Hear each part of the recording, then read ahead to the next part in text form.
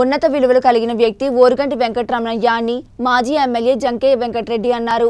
స్వాతంత్ర సమరయోధుడు senior journalist Oruganti Venkataramanaiah ముప్పై ఒకటో వర్ధంతి కార్యక్రమంలో మాజీ ఎమ్మెల్యే జంకే వెంకటరెడ్డి ముఖ్య అతిథిగా పాల్గొని మాట్లాడారు. మార్కాపురం స్థానిక ప్రెస్ క్లబ్ నందు ఓరుగంటి వెంకటరమణయ్య ముప్పై ఒకటవ వర్ధంతి కార్యక్రమానికి ఆయన ముఖ్య అతిథిగా పాల్గొని ఆయన విగ్రహానికి చిత్రపటానికి ఘన నివాళులు అర్పించారు. ఈ సందర్భంగా ఆయన మాట్లాడుతూ వెనుకబడిన పశ్చిమ ప్రాంతాల సమస్యలను ఎప్పటికప్పుడు నాయకుల దృష్టికి తీసుకెళ్ళడంలో ప్రధాన పాత్ర పోషించిన వ్యక్తి ఓరుగంటి వెంకటరమణయ్య అని కొనియాడారు. నీలం సంజీవరెడ్డి వంటి ఉన్నత వ్యక్తులతో సైతం మంచి సాన్నిహిత్యం కలిగిన గొప్ప వ్యక్తిగా గుర్తింపు పొందారని అన్నారు. అలాగే స్వాతంత్ర్య సమరయోధుడుగా పశ్చిమ ప్రాంత సీనియర్ జర్నలిస్టుగా మంచి గుర్తింపు పొందిన వ్యక్తి అని మంచి గుర్తింపు పొందిన వ్యక్తి అని తెలిపారు.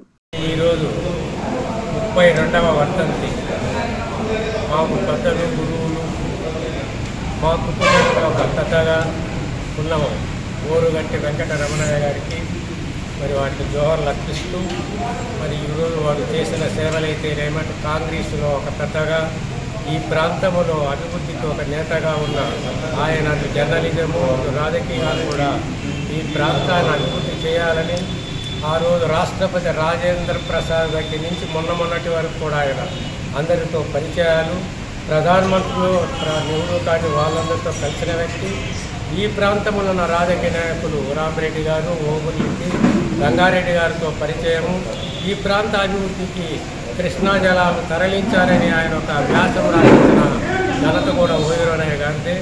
అయితే ఆనాటి రాజకీయ పరిస్థితులు బట్టి అభివృద్ధి చేయడంలో ఈ యొక్క జిల్లాను కర్నూలు నుంచి ప్రకాశం తీసుకురావడము.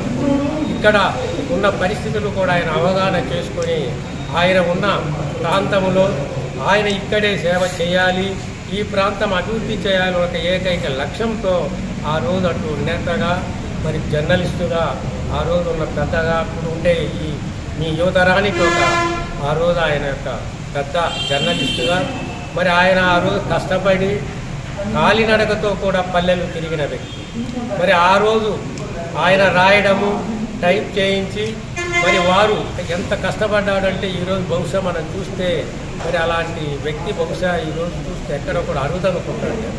కాబట్టి అలాంటి ఓవిరవరాయ గారి గురించి ఈరోజు మనం ప్రతి సంవత్సరం కూడా జయంతి వర్ధంతులు జరుపుకుంటూ మరి వాళ్ళ వారసుడిగా మల్లిక్ గారు మాకు ఇద్దరము కూడా సోదరులుగా ఉండి మేమిద్దరం కూడా. ఏదైనా మా చేతనైనా సహాయం చేయాలి.